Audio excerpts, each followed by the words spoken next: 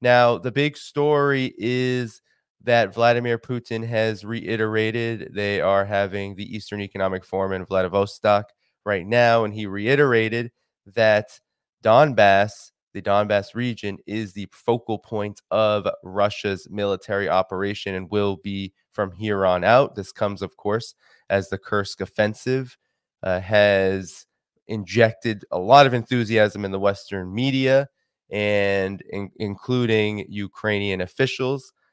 But I wanted to ask you what exactly is happening on the front lines because there's also data suggesting that in the month of August alone, Russia has gained more territory than at any point since 2022, and that there's a lot of panic around this uh, very strategic city of Pokrovsk, which Russia is approaching. So, could you give an outline of what exactly is happening right now on the front line and uh, how this speaks to uh, this uh, a panic about uh, Vladimir Putin's seemingly common sense words here?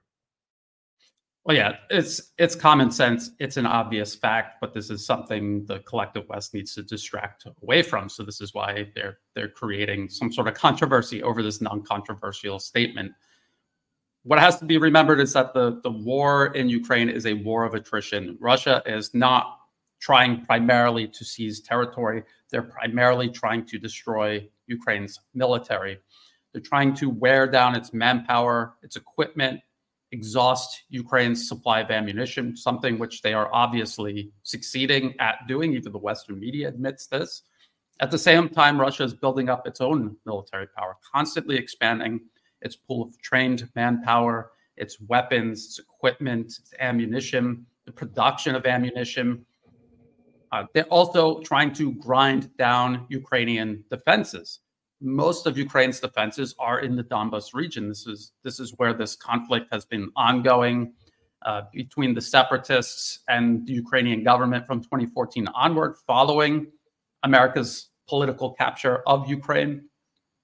Crushing these defenses and the, the forces manning them. Once you've done that, what is really fundamentally left of Ukraine's military? And little or nothing once they do that, then they can take as much territory as, as they want or as, as realistically possible.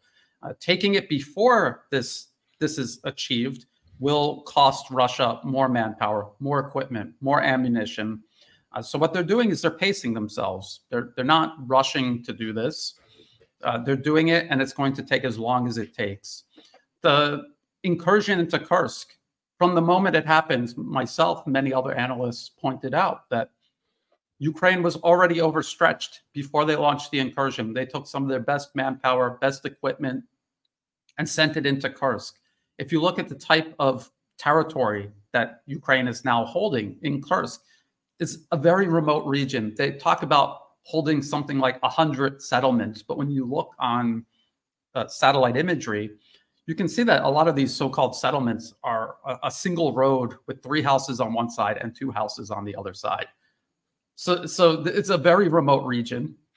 Uh, they were able to move into this region specifically because it was underdefended, because there's nothing there.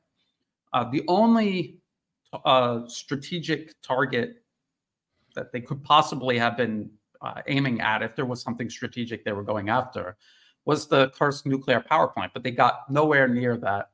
Russian forces have now contained the incursion ha has been a very long time since they made any significant progress.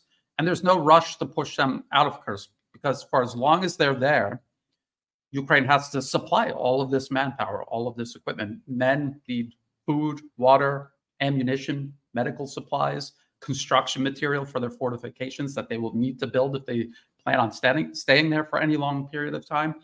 All of their machines require maintenance, spare parts, oil, fuel, so now they have this this huge logistical uh, line they need to establish to support these troops in Kursk who are doing nothing to help the front in Donbas.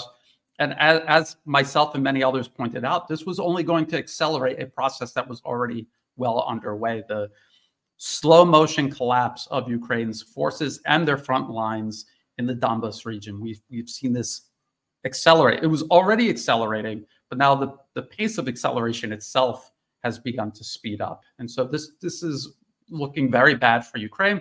But what people have to remember is that the United States from the very beginning was not not trying to defeat Russia with Ukraine. They're trying to raise the cost as much as possible while there's still Ukraine left to use as a proxy against Russia. And uh, one last thing, just as a warning to other nations, the U.S. is, has either politically captured and is using as a proxy or seeks to use as a proxy. This is what the U.S. has in store for them. The, I'm talking about the Philippines or the island province of, of Taiwan. This is what the U.S. will do to these places if they allow it. Uh, and unfortunately, the nature of political capture is you put a client regime into power that does not care about what happens to the administration or country that they're presiding over. So this is all something very important to keep in mind. Um, Danny, your mic, your mic is muted. I'm sorry about that. Yes, uh, Ukraine is definitely a window into uh, that reality that you just spoke about with regard to the larger geopolitical picture. But Brian, before we get to that, could you talk about the significance of Pokrovsk? Because I'm hearing it a lot in the Western media. There's a lot of fear, also a lot of fear mongering about what Russia is doing to get to this city. But there's also just a lot of fear that uh, this city is on its way to being um, in Russia's control at some point in the near future. However, there's also mixed messaging because you have uh, Syrskyi, the head of Ukraine's armed forces, going on CNN talking about how things actually are under control and stable. So, what is the reality here? Because on the one hand, you have the Institute for the Study of War, for example, a, a neocon think tank talking about uh, the front line basically collapsing for Ukraine in many areas, or at least a slow rolling collapse. And on the other, you have Ukraine's head of the armed forces saying everything's all right, everything is stable. So what's the reality here, and what's the significance of Pokrovsk? Well, well, General Syrskyi has to say everything is under control, doesn't he? Because if it isn't under control, who is responsible for being out of control? He he's responsible for that.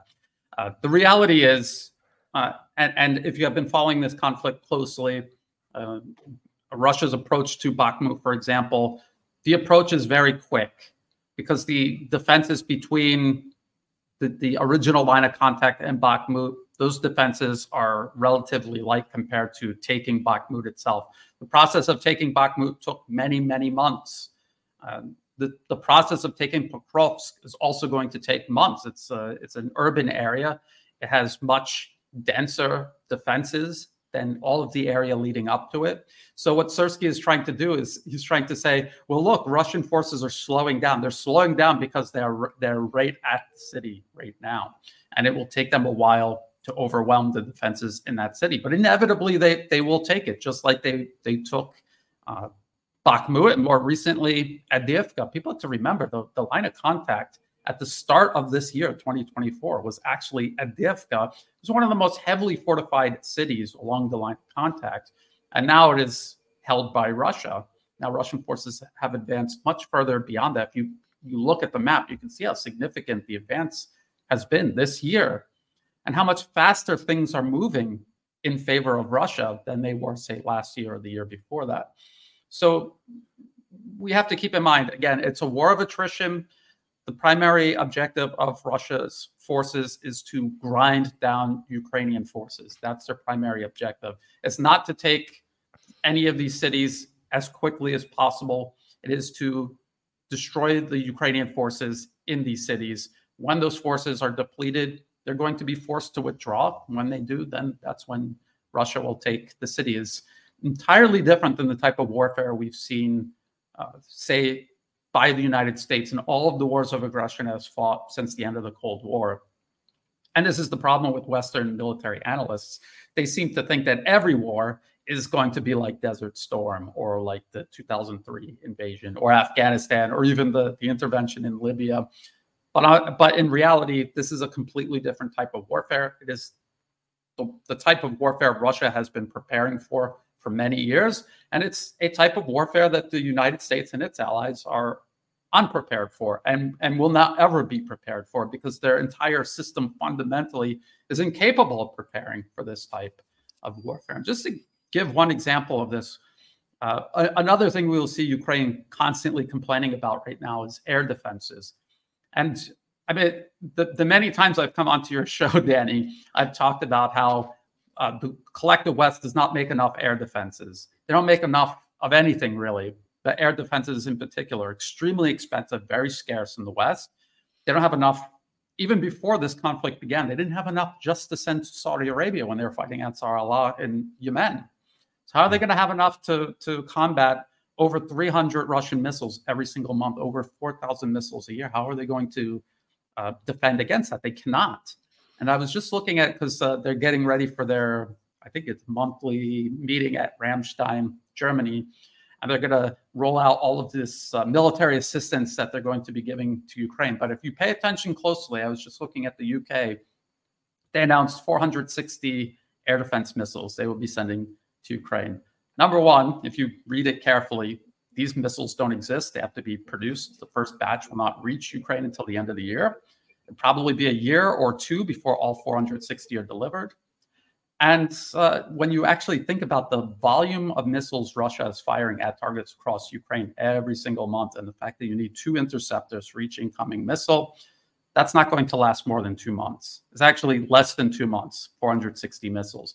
But they're, they're not going to get 460 missiles at one time. So it'll be trickling in at a much slower rate than they actually need to use to defend against this. And it's not as if every month or every other month you, the UK will be able to supply this number of missiles. So this is a this is a huge uh, issue people need to pay attention to it is unsustainable. There is no way for the West to support Ukraine in a way that Ukraine comes out of this with the advantage. There's just simply no way. All they're doing is trying to drag it out for as long as possible.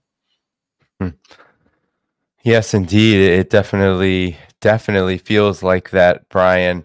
Now, talk about the, you know, you mentioned air defenses there was an incident of an F 16 crashing recently amid a missile barrage, amid the fighting. And this has gotten the West actually quite, I think, hesitant to uh, uh, supply what little they do have to Ukraine from here on out. And there's also this question of long range missiles, Brian. You know, this uh, Vladimir Zelensky, the now defunct president of Ukraine, has been asking for this for so long the permission to not only uh, obtain these long range missiles, but then to use them on Russian territory. And maybe you could talk about the motivations here for Ukraine to keep going on like this because the Kursk, of, uh, if we want to call it offensive incursion, I think is probably more proper. That seemed to create a narrative that Ukraine was kind of back in the game. But what exactly is the reality here, given that we still have Ukraine also begging for more, Zelensky begging for more, and the results don't seem to be adding up? I mean, the, the Kursk incursion was designed almost solely to convince the world that Ukraine is still in this fight. And you would only need to do that if you were not actually still in the fight and you felt the necessity to convince people otherwise. So that's very important to understand. It's also, again, I, I want to point out the Kursk incursion has only accelerated all of the various crises Ukraine faces in terms of manpower, ammunition, weapons. Uh, in terms of long range strikes into Russia. I'm I'm just looking at this Guardian article that I, I will cover in my next video on on Ukraine, which will I, I think I will publish Sunday. It says Zelensky claims support waning for strikes against Russian occupiers, and they're talking specifically about Crimea. Now, all of this time, Ukraine has been authorized to strike Crimea with Western long range missiles, the Storm Shadow and Scalp air launched cruise missiles, ATACMS. What does this actually achieve for Ukraine? Absolutely nothing. They're wasting these missiles. They occasionally they'll have a successful strike where they they will actually hit an important high value target. The problem is Russia has many more high value targets than Ukraine and the collective West has long range missiles to, to strike at them with. So now you're talking about extending this failed campaign for long range strikes against Crimea into the rest of Russia. And I've just look at Russia on a map, how vast it is. And even if you don't want to count uh, the Far East uh, of Russia's territory, just the, the western part of Russia and uh, the, the Urals, where a lot of industrial production is taking place, you're going to take a very small number of long-range missiles that, that you have available to you, and you're going to spread it out over a much wider area. So you're already having no success concentrating them in Crimea. Now you want to spread them out across the rest of Russia. It, again, it is fishing for public relation points that will convince people to continue fighting on a little bit longer, which is the entire objective of the U US right now. We've even heard US politicians openly say to the last Ukrainian, and they mean that, and they're going to try to continue this conflict for as long as possible. As long as there's Ukrainians willing to fight and they have weapons to send them, even if it's not, uh, I mean, clearly not enough to win the conflict or even arrive at some sort of stalemate or or even a semi uh, beneficial uh, uh, a peace agreement for for Ukraine, they will continue fighting because it's about overextending Russia, raising the cost as high as possible for Russia, so that the next conflict, the next crisis, the West tries to engineer against Russia, Russia will be that much weaker when trying to respond to it. That's the plan. That's their plan at any rate. Yeah, what's been so interesting, and and we can uh, maybe close on this point about the battlefield, is that you have uh, this Kursk incursion, which, as you said, Brian, is all about PR and boosting Ukraine's morale, and and at the same time, or at least uh, Ukrainian troops' morale, and at the same time, it seems to have elevated the panic about all of the risks that such an incursion that you've laid out so well uh, really does involve and really does portend because you also have Western media, you have the United States, you have the West all talking about yes, this there is a lot of reasons to worry about uh, uh, maintaining this kind of operation. So, I, you know, I wanted to ask you, Brian, given all of this, uh, what do you make of the fact that it seems like everything Putin says now sounds the alarm? It's like a big bombshell development. Everything he says about Ukraine, uh, U.S., whatever it is, and then you have the fact that there, uh, everything that Ukraine is saying, NATO is saying, U.S. is saying, seems to carry like an inherent contradiction. Like Kursk, for example, Kursk was supposed to be uh, both a, a huge morale boost also, a chip for negotiations, uh, right? If you hold onto this territory, you have a chip for negotiations. But then Vladimir Putin, Russia will say, absolutely not. There will be no negotiations. The more you escalate, the less likely we are ever to talk to you. So, what do you make of all this? It seems like there's a lot of chaos brewing in this conflict, and I'm wondering what you uh, make of it moving forward.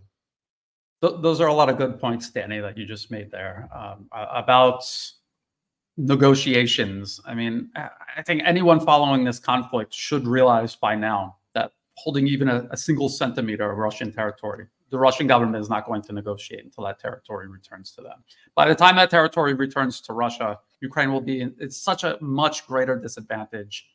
I mean, I mean, just look at the whole trajectory of this entire conflict from the moment the U.S. politically captured Kiev in 2014 up until now how things have progressively gotten worse. The more Ukraine does what Washington tells them to do, the worse things have become for Ukraine. The longer they try to hold out to, to get better terms on Russia, the worse the terms actually become. People should remember that in the very beginning, uh, with the Minsk agreements, well, actually, before they politically captured and deliberately divided the country uh, with an anti Russian regime in Kiev, they had they had Crimea. Ukraine had Crimea. Uh, Russia only took back Crimea, and, and, Crimea joined Russia because of the anti, the, the openly and deliberately anti-Russian regime the U.S. put into power there. The Minsk Agreement, Ukraine could have kept all of the Donbas region, um, minus Crimea at this point, because now we see it's getting progressively worse. But they deliberately strung Russia along did not uphold the, the terms of the Minsk agreement. And so they precipitated the special military operation. In the beginning of the special military operation, they took the Donbas region. They had these other regions that they might have been willing to give back to Ukraine. If only they negotiated in the very beginning. But the West convinced Ukraine not to negotiate. So now they've lost Kherson and Zaporozhye, in addition to the Donbas region and Crimea. So you can see how this is getting progressively worse for Ukraine. Now Russian forces have re-entered Kharkov. They're never going to leave. They're only going to take back more and more and more of Kharkov. And so what, what you see developing is the, the incremental erasure of Ukraine, its absorption by Russia. Remember, Ukraine historically has always been part of Russia. It was part of the Soviet Union. Its, its independence from Russia is a relatively recent and short-term affair. And so this is what this client regime in Kiev is doing to Ukraine. It is erasing it through its belligerence, through its refusal to recognize reality and to negotiate uh, in, on terms that are reflecting the best interests of the Ukrainian people and the Ukrainian nation for whatever it's worth. Uh, so this is a process that will just continue. The United States obviously underestimated Russia, its military industrial power, obviously. I mean, there are still Western analysts who cannot wrap their mind around how Russia is, is producing more weapons, more ammunition than the collective West. They can't wrap their mind around it. And even while they cannot wrap their mind around that, they're still talking about war with China, whose industrial base is many times greater than even Russia's. So there is a, a huge disconnect between the policymakers in Washington driving all of this. Obviously, the people in Kiev have no connection to reality at all because their decisions aren't actually made by them, it's made in Washington. And the further Washington diverges from reality, the more skewed these policies become and the more catastrophic the consequences are. And we see that playing out every day now in Ukraine. Oh, yes, yes, indeed. And uh, Ukraine is such a good example of this term that I hear the United States and Western mainstream media use with Kursk. They call it a gambit or a gamble, a risk. But I think what we're actually seeing with Ukraine over the course of this long period now of uh, essentially becoming a, a NATO proxy is that the real gamble is doing that. We've seen Ukraine just absolutely destroyed by this. And it seems like that's going to be the path for Ukraine for quite a long time to come.